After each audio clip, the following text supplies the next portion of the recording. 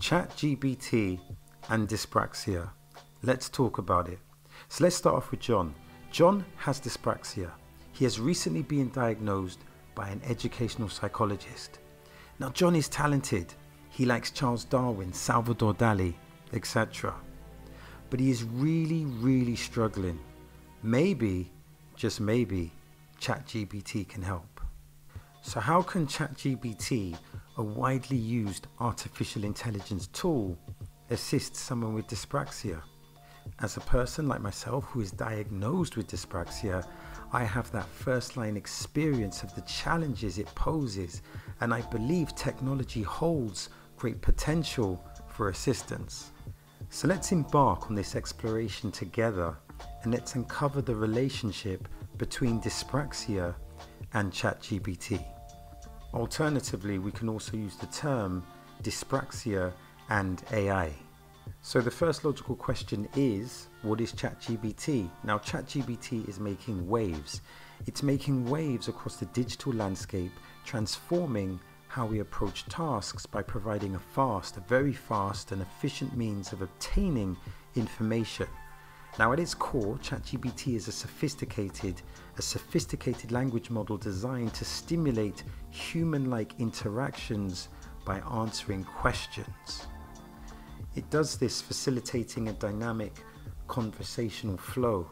Now the philosopher Socrates may have absolutely loved ChatGPT as being someone who developed the term Socratic questioning, but I digress. So I believe there is a potential healthy relationship between dyspraxia and artificial intelligence. So now let's do an inquiry into dyspraxia using ChatGPT and we're going to do this by getting back to John. So John, he goes onto his laptop, opens up ChatGPT and enters the following seven positive rules of dyspraxia and limit it to 200 words. Okay, so we're going to document this response in whiteboard animation. So here are the seven rules that ChatGPT came up with. Number one, organization is key. Use planners, apps, or to do lists to keep track of tasks and appointments. Number two, embrace technology, tools like text to speech software or organizational apps. Number three, physical activity, engage in regular tailored exercise that improves both gross and fine motor skills. Number four, seek support. Regular sessions with occupational therapists, speech therapists, and other specialists are crucial. Number five, educate others, inform teachers, employers, and peers about dyspraxia. Number six, have patience with progress, set realistic goals, and celebrate small achievements. And finally, number seven, community connection, join support groups or online forums where experiences and strategies are shared. So I hope you enjoyed that animation sequence. Now adopting these rules can help individuals with dyspraxia and this can lead to more structured and fulfilling lives turning challenges into opportunities for growth and resistance. So that means John, he can take this information, adapt what's helpful and disregard what's unhelpful. So for me, this is what's good about this response. It's super fast response in under a minute. It's a comprehensive response and the ability to condense the answers to 200 words forces it to be concise.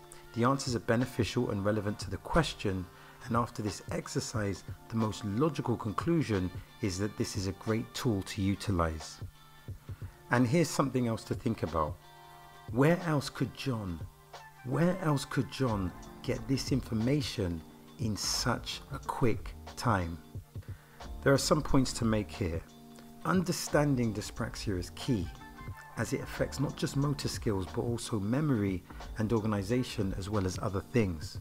So ChatGPT can be a significant aid in these areas. For instance, if I forget the strategies for speed reading, ChatGPT can quickly find that information, enhancing productivity and learning efficiency.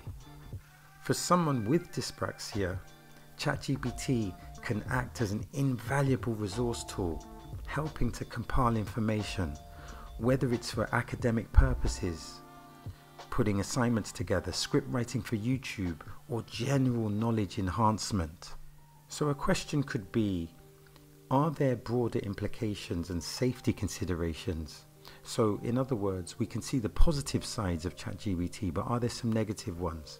So while there are concerns about AI's impact, particularly on employment, I guess it's crucial to distinguish between general AI application and specific tools like ChatGPT. So my focus is on the practical benefits and how these technologies can support people with dyspraxia and neurodiverse conditions. So this is all positive, but there is a good question about will artificial intelligence, will AI, will ChatGPT affect the job market? Because ChatGPT and similar AI technologies have the potential to significantly impact the job economy. How? How can they do this? They can do this by automating tasks that previously required human intervention, thereby reshaping the demand for certain skills and certain roles. Now, as AI systems become increasingly capable of handling complex tasks such as customer inquiries, content creation, and even some aspects of coding and data analysis. They can enhance they can enhance productivity and efficiency in numerous industries. Now this shift may lead to a reduction, yes, a reduction in jobs that are routine and repetitive, and this can push the workforce to adapt by acquiring new skills that are less susceptible to automation. So let's try and paint a picture of some clear examples. So in your local supermarket, you can be served by a human or by a machine. And here's a question. Does this limit jobs within that supermarket? Now, of course, this can limit the workforce, but remember, the machine is programmed by humans, so perhaps there are additional jobs in that particular industry.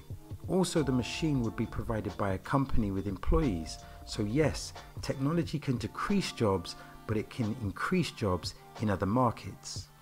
So, this leads to the concept of artificial intelligence and entrepreneurship because there is an opportunity for humans to collaborate with AI to create better businesses. Typically, this would involve the human collaborating with the AI system to bring a better service, of course. I constantly get internet ads selling AI services. So this may become a saturated market, but there is a theoretical opportunity. I guess there is a valid question though how long will it last? And clearly, entrepreneurs need to think on their feet and be more creative and solution focused to enable this collaboration with them and AI to flourish because the business of yesterday is not the business of today. Now, maybe AI may provide John not just the opportunity to learn quicker with his dyspraxia, but maybe there is an opportunity for entrepreneurship with that collaboration if he masters this function. Because I believe that neurodiverse people may be more suited to entrepreneurship, but that's another video. In conclusion, ChatGPT can help people with dyspraxia. It can shorten learning time and it can be an accessible tool. Of course, there may be issues with artificial intelligence, but to me, there are choices. The first choice is to ignore artificial intelligence because of fear. And the second choice as a dyspraxic person is to use ChatGPT as a way to learn more effectively. So I hope you've enjoyed the content. Now, if you want to support the channel, like and subscribe. Also, why not check out my video playlist on video essays?